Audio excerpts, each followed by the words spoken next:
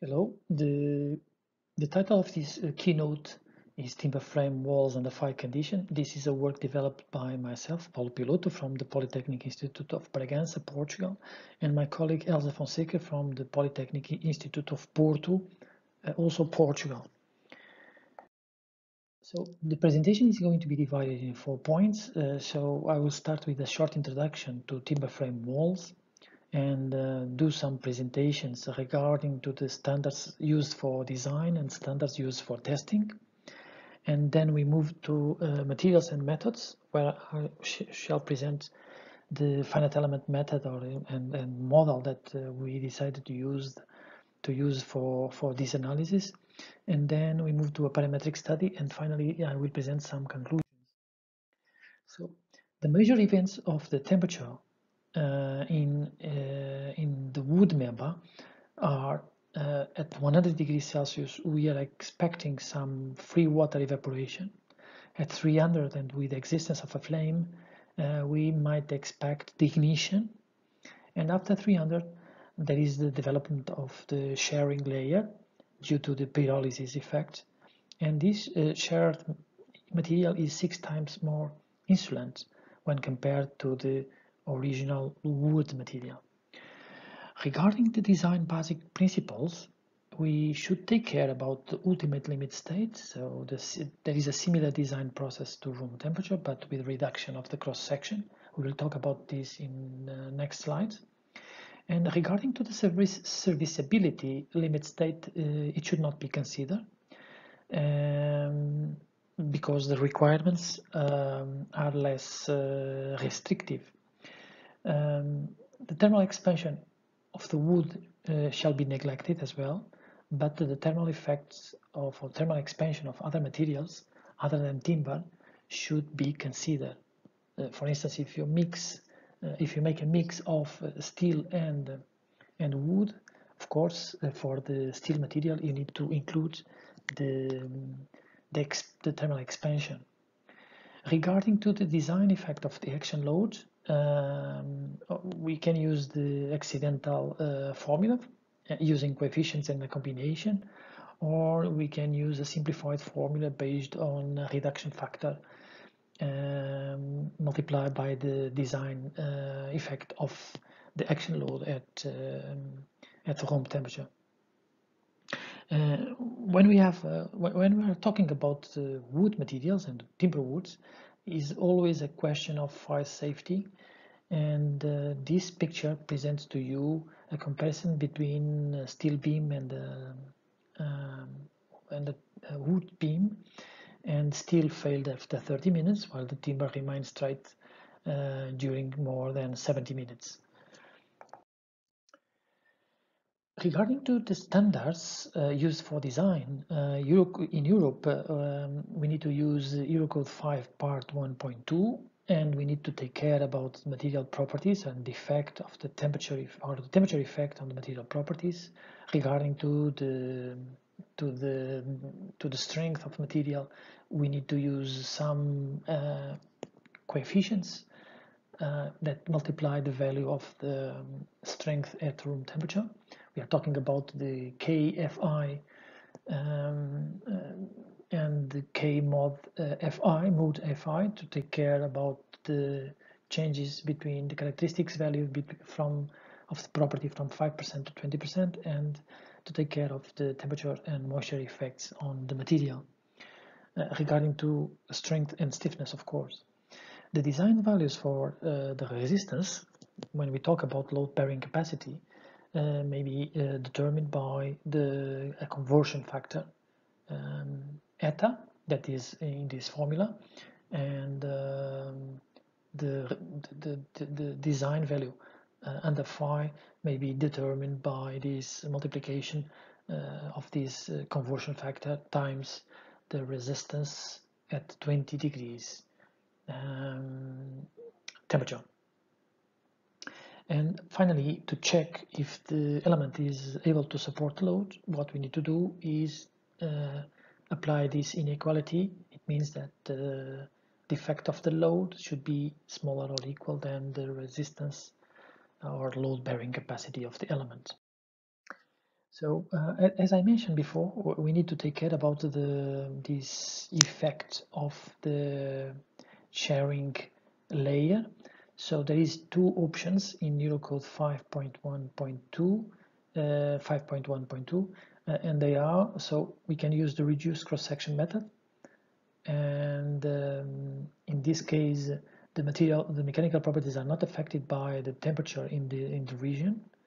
And we talk about uh, the effective uh, um, the effective uh, cross section and there is another method which is reduced properties method which is based on the previous one but uh, the properties are affected by the temperatures in the residual cross section area. So there is the effective and the residual cross section and we need to uh, and we need to be to to distinguish uh, both okay regarding to testing uh, there is an European standard that uh, takes into account um, which, which is the standard that should be used for testing any kind of elements. And the, the, the standard is the 1363 uh, slash 1 and regarding to the load bearing capacity of uh, of load uh, of vertical elements, we need to uh, take into consideration the contraction of the elements and the rate of uh, um, of vertical contraction. And when one or the other is reached, so the load-bearing capacity can be find can be found. Uh, regarding to the integrity, so we need to check the flames through the cracks and openings uh, or the ignition of a cotton pad. This is another uh, important parameter for to test the integrity of the, of the of the wall in this case. And regarding the insulation uh, criterion, we need to take care about uh, the what is going on on the unexposed uh, surface of the wall, and um, we need to check the average temperature above the initial average temperature or the maximum um, temperature above the initial. So for the average, we need to take care about take care of the 140 degrees above the initial average temperature, and for the maximum 180 degrees of uh, incre incre incremental uh, temperature. According to the standards for testing, uh, the 1365/1, uh, there should be a blinch on the top and the bedding plate to distribute the loads because normally the load is applied by hydraulic jacks and there should be a clearance of 25 to 50 millimeters from the vertical edges of the test specimen.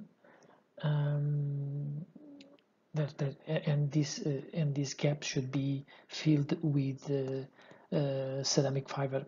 Normally is the this white material that we are seeing in this picture.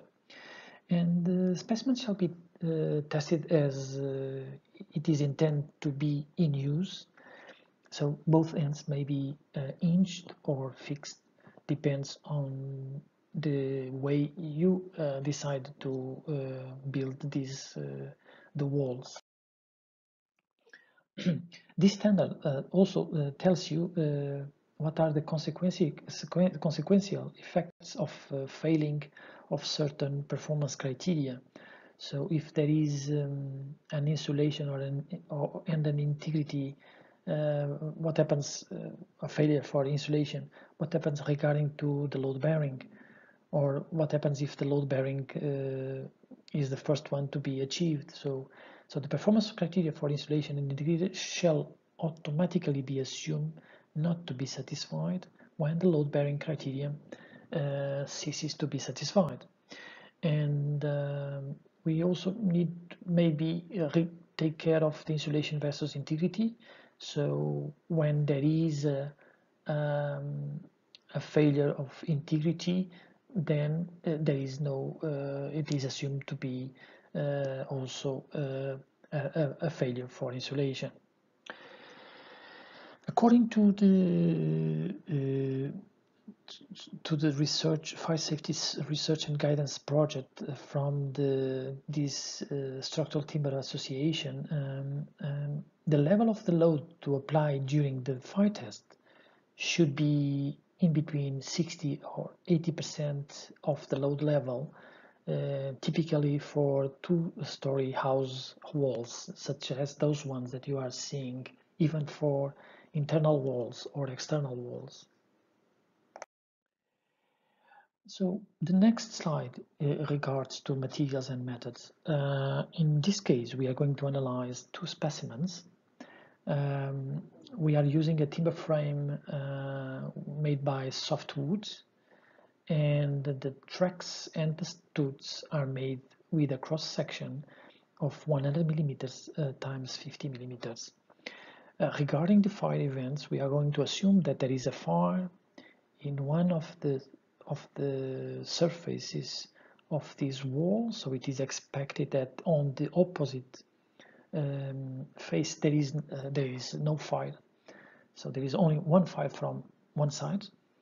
And um, of course due to the fact that this uh, timber frame is going to be protected by gypsum plates we expect that, that those gypsum plates are going to fall off and uh, they are going to crack during the test and due to this experimental observation uh, we need to take care about the temperatures that are going to uh, be inside the cavity region.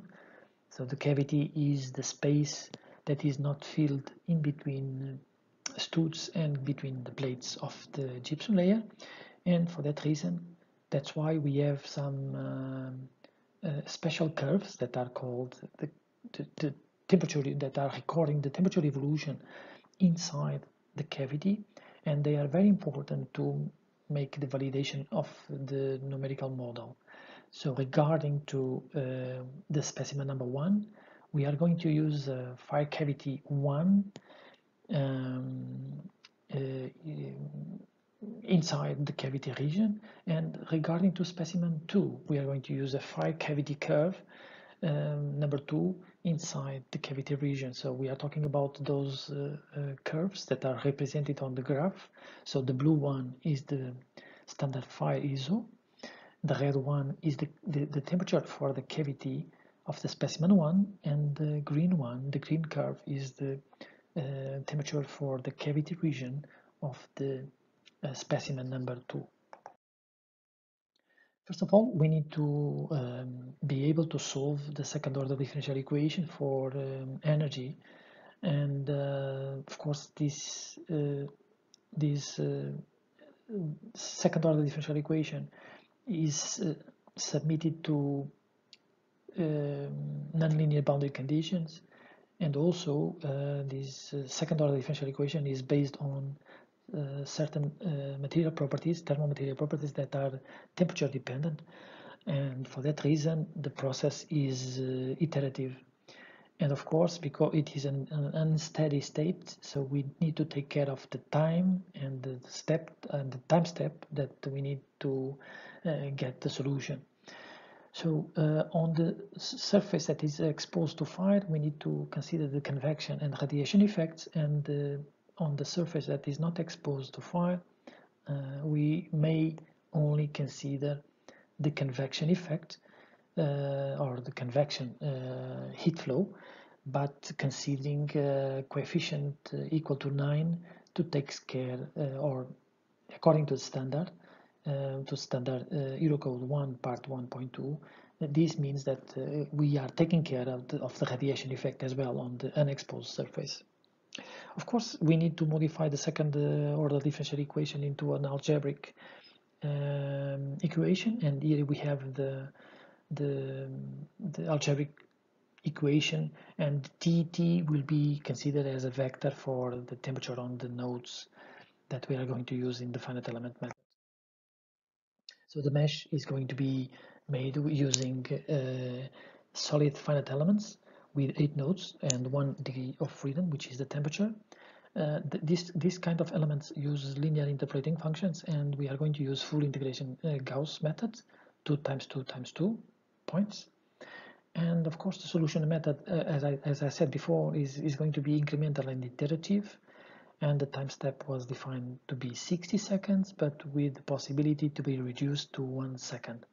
The convergence criterion is based on heat flow with a tolerance of 1% and a reference value of uh, uh, 10, point, 10 power minus 6. The boundary conditions on the exposed side we have already mentioned, the convection and radiation and with all the coefficients that are in this slide and for the unexposed as well. And of course for the cavity, this is a kind of um, a new proposal because it takes into account um, the degradation effects of the material, in this case gypsum, which is the pink material that we have in this picture. And for that reason we we decided to use a, an average uh, co co convection coefficient.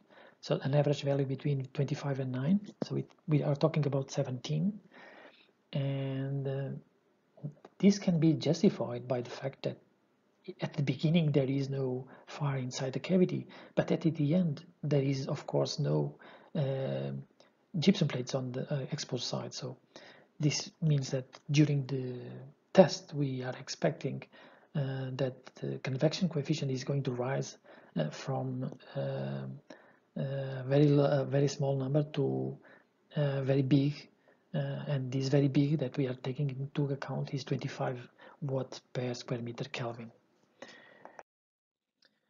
So here we have the, the preliminary, the, the, the first results from uh, the analysis where we are talking about the thermal analysis and we have two uh, interesting pictures or GIF animation that uh, represents the temperature evolution on on the timber frame and as well on the on the gypsum plates. And those th those temperatures are going to be important for the load bearing analysis that we are going to do and um, but of course we can take care about the insulation uh, criterion right now. So if we track the temperature on the unexposed surface we can uh, determine the max and the average temperature. So for specimen one uh, the first um, graph on the right side on the left side so we are expecting to have a failure uh, in 44 uh, or 46 uh, so 44 is the uh, the time determined for the Tmax and 46 for the average temperature. And for the specimen 2 we are talking about 91 minutes. Uh, we determined the same value for the maximum and average temperature. So uh, by the way the those uh, average and Tmax were determined at an average high height of the um, of the specimen. So we are talking about uh, at z, z coordinate equal to 0.5 meter. And we took all the node numbers or the node values to determine the average and the maximum temperatures. So we are just right now seeing the results for 30 after 30 minutes and 60 minutes. On the gray color we can see the, the material that is already burned. So it means that uh, we are talking about the charring um, effect or the pyrolysis effect of the, of the in, in the material. And of course the, we can take a look on the reduction of the of the area that we need to to take into to account to verify the the load bearing capacity of the of the structure and those are the results for the specimen 2 of course uh, due to the fact of the specimen 2 is being uh, protected by two layers of gypsum with two 12.5 millimeters thickness each one. So we uh, the results for after 30 minutes are not the same as uh, the previous ones so uh, as you can see um, uh, after 30 minutes the the, the wood is all of the timber structure is below 300 degrees. Okay so this is important. So of course the, this is not only a thermal problem it is also a mechanical problem and to take care of the of the mechanical part or behavior of the material of the wood we need to um, highlight that uh, the material is uh, the behavior of material is anisotropic uh, because the tree the tree grows and the, the regiments of wood cells within the stem uh, wood can be considered locally as an orthotropic material, which means that we may do an approximation of the certain material properties in three uh, orthogonal uh, axes. And um, and finally we need to to, to solve the problem um, of um, the if we, if we compare the internal forces with external forces then they should be equal to zero. So this is the kind of solution uh, that we need to take care to find displacements and stresses in the in the, the material that is able to make the or to sustain the, the load. By the way the gypsum is not considered in the mechanical simulation. Only the timber uh, is frame is considered regarding to the mechanical analysis we need to use uh, different type of uh, finite elements so uh, we are expecting to use solid 185 which is a height node uh, element with three degrees of freedom at each node. And this kind of element uses linear interpolating functions and full Gauss integration with enhanced strength. And uh, we are using also COMBIN 39, uh, 39 which is uh, which is designed to work under compression. And this element has two nodes. And uh, the we are using these kind of elements to simulate the effect of the restraining uh, steel, uh, sorry, of the restraining concrete frame that uh, normally is used in the testing furnaces. So this is to take into consideration the gap of 25 to 50 millimeters that is expected to to be in the test frame of the of the furnace. And uh, the solution method that we decided to use is an incremental and iterative with large displacements. And uh, we are going to use Newton-Raphson using an incremental displacement that can change between 0.001 to 1 millimeter depending on the convergence process. Uh, the convergence criterion is based on the force with a tolerance of 5% and a reference value of 10 power uh, minus 3. Or, well, the boundary, the, boundary conditions are those that are specified by the standard for testing so the bottom track is full, fully restrained and on the lateral edges we have those um, so the U the, the, the this this displacement in the direction of in, in the plane of the wall is restricted by the frame of the furnace it means that we have those special elements combined 39 that uh, don't that do not let go the the, the, the, the studs, the, the external studs uh, to touch the, the frame of the wall. So they are making a compression or trying to move the studs to the internal uh, region of the wall.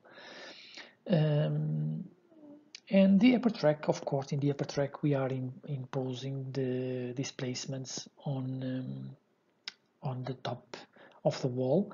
And of course uh, we need to take into consideration or you need to determine the reaction of on those nodes so the reaction of those nodes is going is the reaction is going to give you the load bearing capacity of the of the element so uh, and, and, we are going to do the analysis following this uh, flow chart so first a thermal analysis over time.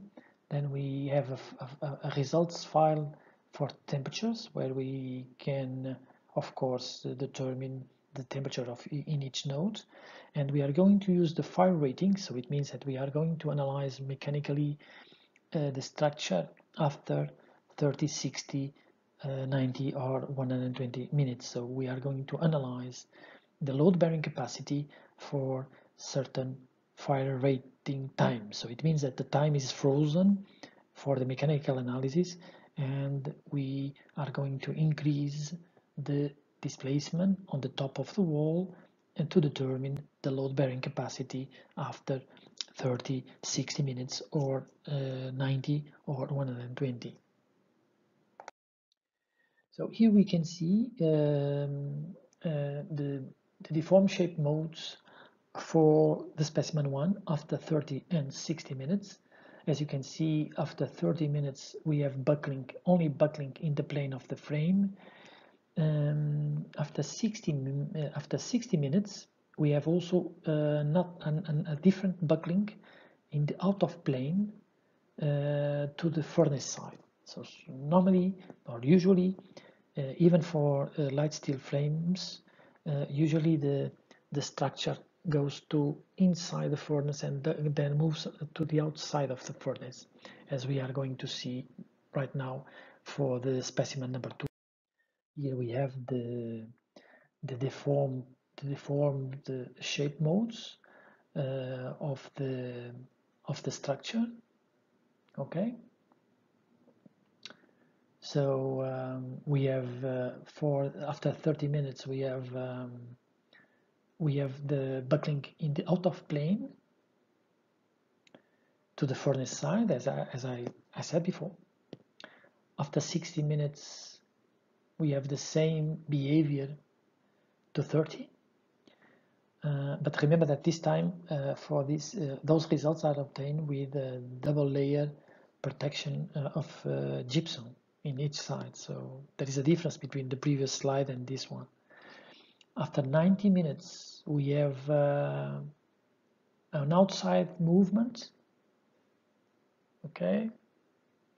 And and finally after 120 minutes we have a mix of the form shape modes due to the effect of the charring layer which is very uh, complex uh, uh, uh deform shape mode due to this effect because uh, the, the, the, the residual or the effective cross section is going to be changed a lot from 30 to uh, 120 minutes. Well, um, regarding if you if your if if our plan is to make a test, and it is, in fact, we are planning uh, to do some experimental tests on this kind of uh, timber frames. We need to decide which is the load level that we want to apply, and first of all, what we need to do is to be able to do, do the calculation of the load bearing capacity of each stud, and this uh, load bearing capacity is determined or should be determined uh, for t equal to zero. That's uh, the formula, the first expression that we have on the on the top. Then, um, uh, if you want to uh, know the, the, the the load that you need to apply during the test, you should use a kind of load level. Usually, as I said, it can be a typical load level can be 0.6 but of course can be a different value depending on the load that you have on the, on the structure. So um, um, and depending of course of, on the on the utility of the of the of the stud in this uh, building structure.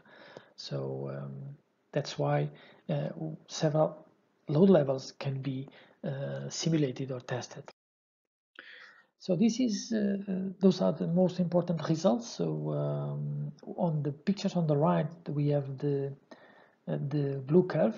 Uh, the blue curve is the uh, the plot of the load bearing capacity, if you want, versus uh, the vertical displacement on the top. So it is the contraction C the, the letter C that we uh, specified on the first on the first couple of couple, couple of slides. And we have the, the, the, blue curve is the curve for room temperature. So it is the same for both. And the, the other curves are the curves for the relation between the load bearing capacity and displacement or the contraction displacement on the top of the of the wall. Uh, after uh, 30, 60 for the specimen 1 and 30, 60, 90 and 120 minutes for the specimen number 2. If we assume that the load bearing capacity is determined more or less for after 2.2 uh, millimeters of contraction uh, displacement, we uh, may do the calculation of the um, uh, residual load bearing capacity. And as you can see after 30 minutes the reduction of this uh, load bearing capacity is very big. Uh, after that uh, after 30 minutes the reduction is not so big as you can see. For specimen 1 the reduction is smaller. And uh, for the specimen 2 uh, the reduction um, tends to be more or less the same but um, after 120 minutes we may say that the load bearing capacity is uh, uh, in, in between 30 uh, percent or 30 percent or 35 percent depends on scale that we can take from the graph so finally, some conclusion. This research presents the load bearing capacity of timber frame walls protected with one and two uh, layers of gypsum. Um, and of course, we did the simulation at home temperature, but we did also the simulation under the fire condition um, for different fire rating periods. And the finite element model that we use for thermal analysis was, was already has been already validated uh, in fact using a 2D uh, equivalent finite element but uh, we made the validation against some experimental tests made by other researchers. And um, we know that higher protection level reduces the shear to shear layer of the studs and increase the load bearing capacity. When we made the comparison after 30 minutes between specimen 1 and specimen 2 we saw that the load-bearing capacity of specimen 2 was higher than the, the load-bearing capacity of specimen 1. Uh, here it is, so the values are 53% uh, for 53.5% for specimen 2 and 47.5 for specimen 1. More simulations are expected to be developed on based on different levels of protection layers using different um, composite materials. And uh, finally, some experimental tests are also uh, required to validate the mechanical part of the model.